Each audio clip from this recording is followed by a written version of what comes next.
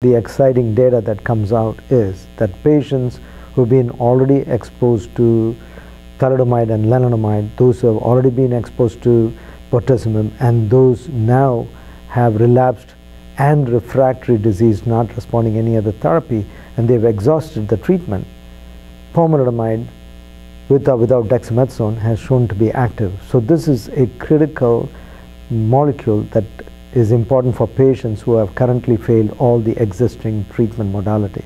So that's where it is very important.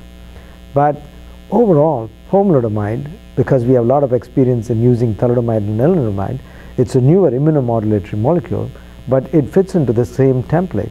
So it could be easily combined with a proteasome inhibitor, it could be combined easily with the alkylating agent. So the combination therapies are currently ongoing and th those are showing exciting results.